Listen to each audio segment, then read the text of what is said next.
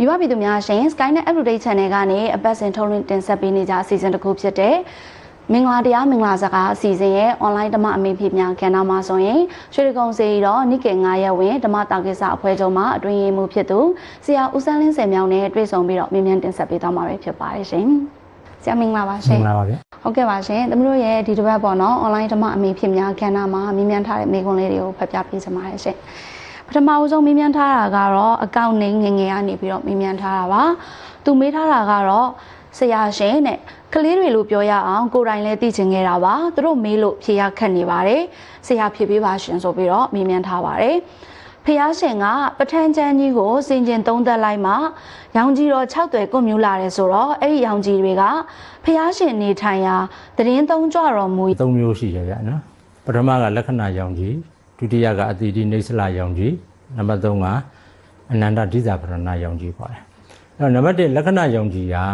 3000အဝန်းဝိုင်းရှိတယ်ဒါမြတ်စွာဘုရားရှင်စတင်မွေးဖွားစဉ်ကနေပြီးတော့ဖះမဖြစ်မီအချိန်ကြီးကိုအဲ့ဒီလက္ခဏာရောင်ကြီးရှိတယ်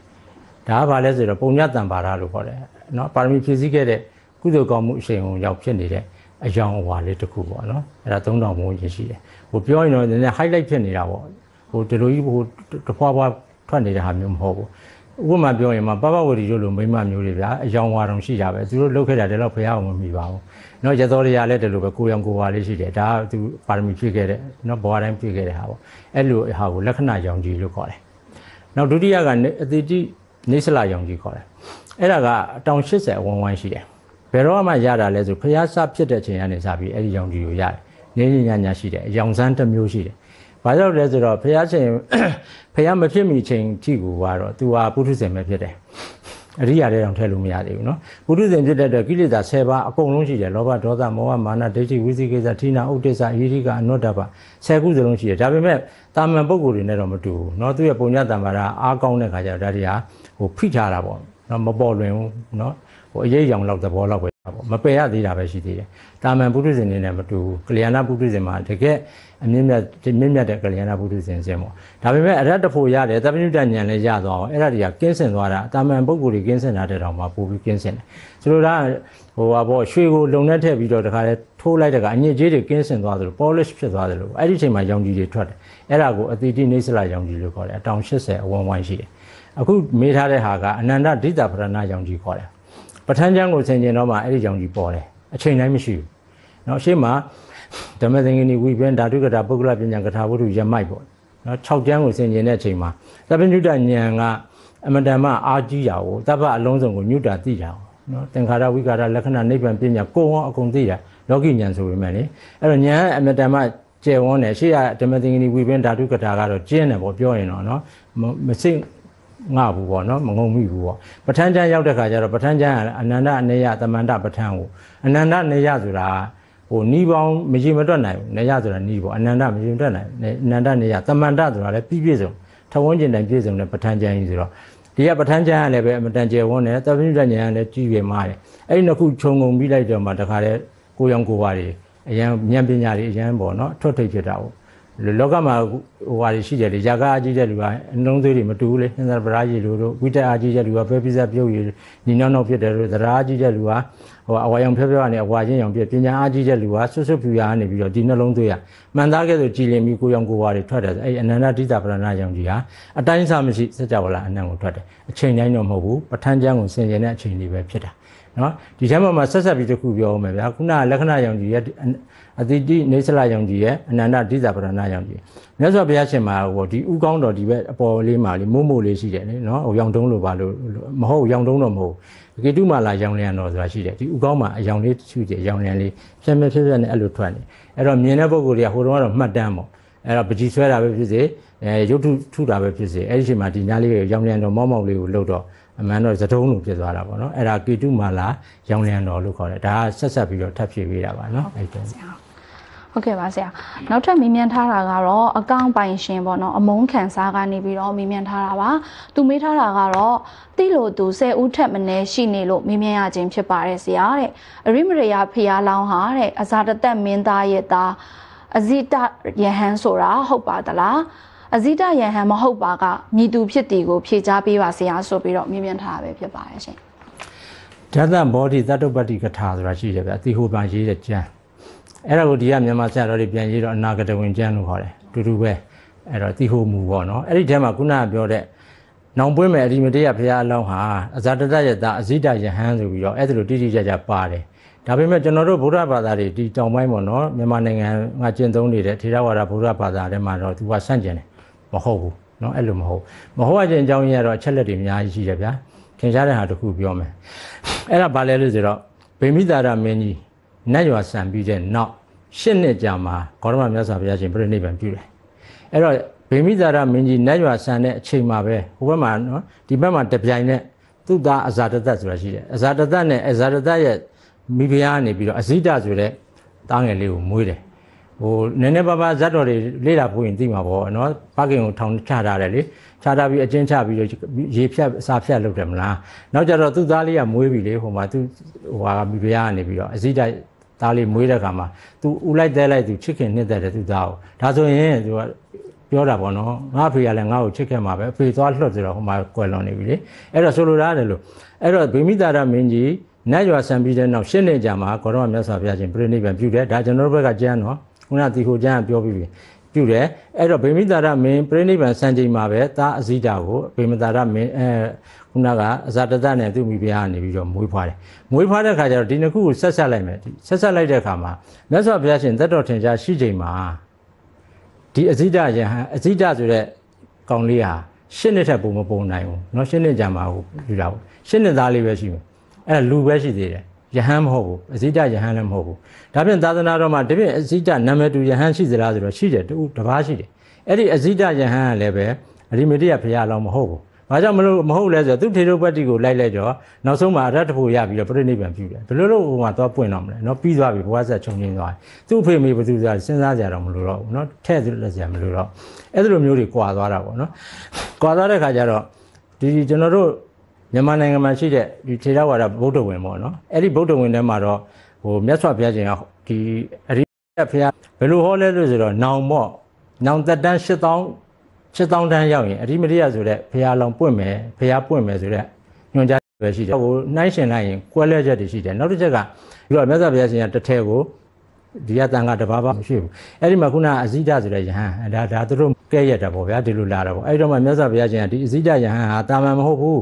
နောင်ပွင့်မဲ့ဒီမတရားဘုရားလောင်းမယ်ဒါဒါသူတို့ရဲ့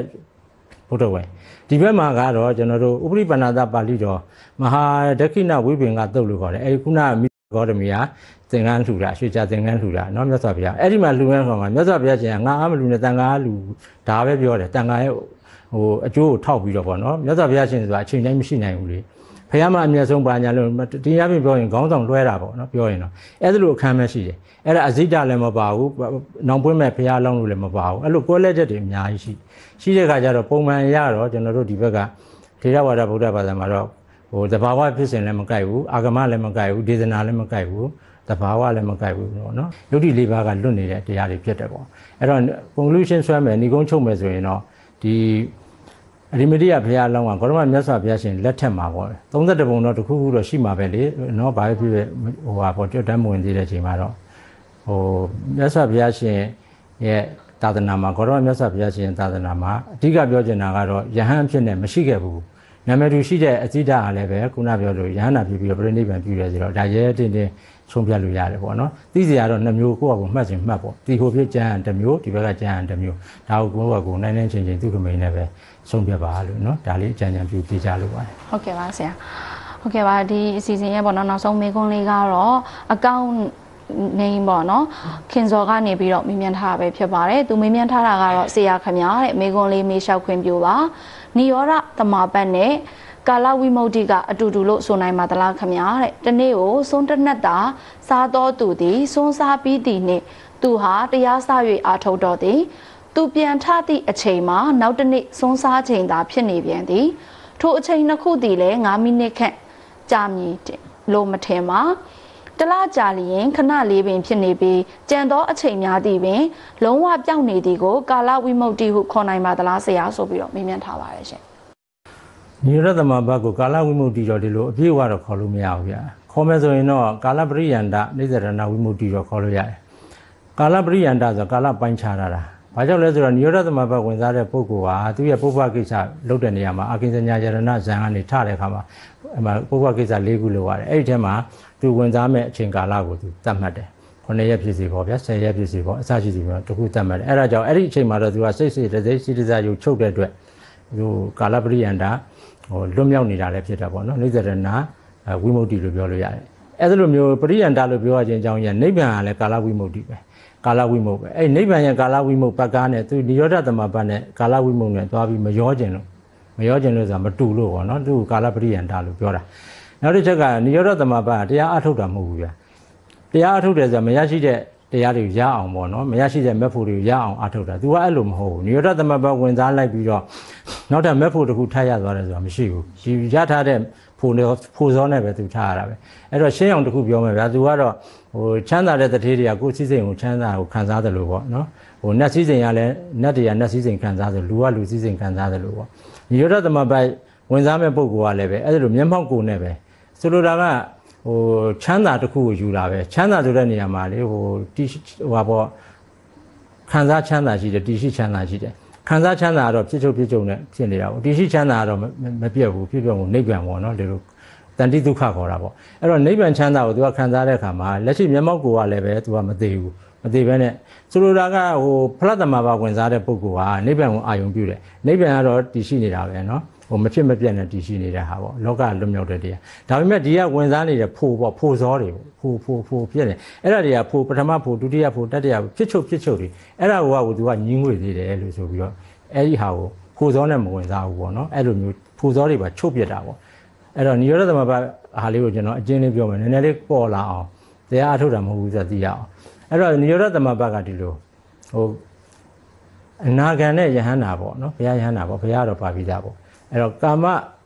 ကာမယူဘနာဂံနဲ့ယဟန္တာပုံကိုယ်တွေပဲဝင်စားလို့ရတယ်တမဘတ်၈ပါးကိုရရှိထားရမယ်ဒီဘက်ကမက်ဖို့အရိယာမှာဆိုရင်တော့အနှိမ့်ဆုံးအနာဂံဆင့်ပြရမယ်အဲကာမယူဘအနာဂံနဲ့အရိယာပုဂ္ဂိုလ်တွေပေါ့ယဟန္တာပုဂ္ဂိုလ်တွေကသူတို့ကပရိဘောဓကိုဖြတ်သိမ်းလိုက်တယ်စိတ်ညင်ညာကိုကတ်လိုက်တယ်ကတ်ပြီးရင်သူတို့တမဘတ်၈ပါးရထားတယ်ဆိုတော့ဇံဝင်စားမယ်ပထမဇံကပဲစရတာပဲပထမဇန်ဝင်စားတယ်ပထမဇန်ဝင်စားပြီးတဲ့နောက်မှာဇန်အားထလိုက်ရတယ်ဇန်ထတယ်ဆိုတာဒီလိုထိုင်အားထတာမဟုတ်ဘူးเนาะဇန်ကိုရက်ပြက်လိုက်တာကိုပြောတာ ဆိုဇန်မှထတော့ပေါ့ဝိဋ္ဌိတူကထတော်မူပြီပေါ့အဲဇန်ထပြီးတဲ့အခါမှာဇန်မှာရှိတဲ့သင်္ခါရတရားတွေကိုသူကအိဋ္ဌဒုက္ခအနတ္တလက္ခဏာတင်ရှုတယ်အနုလောမဉာဏ်တိရှုတယ်ပြီးရင်သူကရက်လိုက်တယ်ပြီးရင်ဒုတိယဇန်ဝင်စားတယ်ဒုတိယဇန်ဝင်စားပြီးရင်ဒုတိယဇန်ကထတယ်ထပြီးရင်ဇန်ရဲ့သင်္ခါရတရားတွေကိုဇန်ရင်္ဂါတွေကိုအိဋ္ဌဒုက္ခအနတ္တအနုလောမဉာဏ်တိရှုတယ်ပြီးရင်တတိယဇန်ဝင်စားတယ်ဆိုပါစို့တန်းစီသွားပြီတတိယဇန်သရုတ်ထဇန်ပင်စမဇန်နောက်ပြီးတော့ယူဘဇန်ပြီးသွားရင်အာယူဘဇန်တက်အာဂတနိဇာယရဏဝိညာဉ်နိဇာယရဏအာကိဉ္စညာယရဏရောက် အာကိဉ္စညာယရဏဇန်ဝင်စားပြီးသွားပြီးရင်အဲ့ဒီဇန်ကထရင်သူကဝိပဿနာမရှုတော့ဘူးပုံမှန်သူရှုတယ်မရှုတော့ရင်သူကဘာလုပ်လဲဆိုတော့အဋိဋ္ဌံလုပ်တယ်အဋိဋ္ဌံ၄ချက်လုပ်တယ်တစ်သူ့ရဲ့သင်္ကန်းပိခရာတွေမပြည့်စည်ပါစေနဲ့သူဝင်စားတဲ့အချိန်မှာသူဘာမှမသိတော့ဘူးလေဒီချိန်မှာနောက်ဒုတိယချက်ကမြတ်စွာဘုရားကသူ့ကိုအလိုရှိတယ်လို့ဆိုရင်ခေါ်မယ်ဆိုရင်အဲ့ဒီမခေါ်ခင်သူထားပြီးသားဖြစ်ရပါလို့သမဘက်ကထားပြီးသားဖြစ်ရပါလို့တတိယကတန်ခါအကံပြုဖို့အကြောင်းတစ်ခုခုရှိလို့ခေါ်မယ်ဆိုရင်တန်ခါကမခေါ်ခင်မှာသူဒီသမဘက်ကထားပြီးဖြစ်ရပါလို့ အဲ့တော့တန်ခါလို့တော့သွားပြီးတော့အဘုဇောတန်ခောတံပရိမာနေတိလို့ပြောတိုးတိုးလေးပြောကောက်ပြီးတော့ထားတယ်နော်အဘုဇောငါရှင်တန်ခောတန်ခါကတန်သင်းကိုပရိမာနေတိအလိုရှိပြီတဲ့လို့အဲ့လိုလေးသံဃာပြောလိုက်ရင်သူထားတယ်ဒါကအရိယာသံဃာမှမဟုတ်ဘူးသမုဒိသံဃာနဲ့တော့သူကထားဝิญကြီးလိုက်တာနောက်ဆုံးကတော့ဗာလဲဆိုရင်သူရဲ့ဝင်စားမဲ့အချိန်ကာလပေါ့နော်လူပုံမှာဆို9ရက်ပဲရတာပေါ့ဘာလို့ဆိုတော့တပ်ပိသတ္တအာဟာရတီတီကလေအစာမစားပဲ9ရက်ထက်ပိုရင်ဒုက္ခများမယ်လေအဲ့တော့ယူဘဘုံတို့ဘာလို့ဆိုရင်တော့အတိုင်းစာမရှိလို့လို့ရတယ် ဒီကာမဘုံလူပုံမှာဆိုရင်တော့9ရက်ပဲရအဲ့ဒါကိုသူလုပ်တယ်အဋ္ဌံပြုတယ်ပြုပြီးတာနဲ့သူအကိဉ္စညာယရဏဇံကနေပြီးတော့ပယ်သွားမယ်နေဝတင်ညာနာတင်ညာယရဏနောက်ဆုံးဇံနေဝတင်ညာနာတင်ညာယနာဇံကိုဘယ်နှချိန်လဲဆိုတော့အတိအကျပဲဗျအဲ့ဒါတွေကပြီးဒီမှာမှာတော့ကိန်းကနမူသိစီရှိတယ်သုတ်တန်တွေလိုဟာလိုမျိုးမဟုတ်နှစ်ချိန်ဝင်စားတယ်နေဝဇံနေဝဇံနှစ်ချိန်ဝင်စားဝင်ပြီးရင်စိတ်ချုပ်တယ်စေတသိက်ချုပ်တယ်စေတစာယုတ်ချုပ်တယ်အဲဥဒဇယုတ်ကြံတယ်ပေါ့အာရဇယုတ်ကြံတယ်ပေါ့နော်အဲ့တော့အဲ့လိုလေးချုပ်သွားတဲ့ခါကျတော့စိတ်စေတသိက်စေတစာယုတ်ချုပ်သူဘာမှမသိတော့ဘူးလေ ထိုင်နေလဲထိုင်နေတဲ့တိုင်သူ့ကိုကောက်ရိုးတွေပုံပြီးပုံရှို့မလောင်ဒိတ်ချန်ထားတာပေါ့နော်မိုးချိုးပြမထိဘာမှမသိတော့ဘူးအဲအဲ့လိုမျိုးဖြစ်အဲ့တော့သူအချိန်ကာလရောက်ပြီဆိုရင်ဇန်အဲ့ဇန်ကနေထမယ်ပေါ့နေဝဇန်ကနေထညရသမပါထမယ်ထရင်စိတ်ဖြစ်လာမယ်လေသူကာလတစ်ခုပိုင်းခြားဟိုတမာတိရောဟိုပညာရောပေါ့နော်ပြောရင်တော့ပြီးရင်တော့ဝိပဿနာရောဝိပဿနာတက်လက်ဒီကတမထတက်လက်ပေါ့ဒီလိုသွားနေတာအဲ့ရနေပြီးတော့ပြန်ထမယ်ဆိုရင်အနာဂံပုဂ္ဂိုလ်ဖြစ်ခဲ့ရင်အနာဂါမိဖို့နဲ့ထားတယ်ဖို့စောနဲ့ထားတယ် ယ ယဟန္တာဆိုရင်အရတ္တဖို့ဇောနဲ့ထားတယ်ပြီးရင်ဘဝင်တွေဖြစ်တဲ့ဖြစ်ဖြစ်တယ်ပေါ့ဒါကသူ့ရဲ့ sequence ပေါ့နော်သူစိတ်အစဉ်တန်းလေးတစ်ခုပေါ့ဒါကြောင့်ညရသမဘဝင်စားတာဒီမျက်မှောက်ဖြစ်တဲ့ခန္ဓာကိုယ်နဲ့ခန္ဓာကိုယ်နဲ့ပဲဒိဋ္ဌဓမ္မနိဗ္ဗာန်ကိုခံစားလို့တဲ့အတွက်ကြောင့်အဲ့ဒီလိုမျိုးဇာနာလာပြီးဖြစ်ပြီးတော့အနိစ္စကာမယူပကအနာဂံနဲ့ယဟန္တာဖြစ်တဲ့ပုဂ္ဂိုလ်တွေကဝင်စားလို့ရပါတယ်တရားအထုတ်တာမဟုတ်ဘူးเนาะအဲ့ဒါကိုလှုပ်လိုက်လို့ဒီပြင်ဉာဏ်စဉ်တစ်ခုတက်သွားတာမျိုးမဟုတ်ဘူး ရရှိတဲ့သူဖလှပေါ့အကျိုးကိုခံစားတာပေါ့နော်နိဗ္ဗာန်ကိုမျက်မှောက်ပြုတဲ့ဟာပေါ့ဒါကြောင့်သူကိုကာလပရိယန္တနိစ္စရဏဝိမု ക്തി ဘလို့ပဲပြောလို့ရမယ်နိဗ္ဗာန်ဆိုတဲ့ပတ်ကဝိမု ക്തി ကာလဝိမု ക്തി တော့မဟုတ်ဘူးလို့နော်ဒါလေးကိုကျွန်တော်ဖြေကြပါဟုတ်ကဲ့ပါဆရာ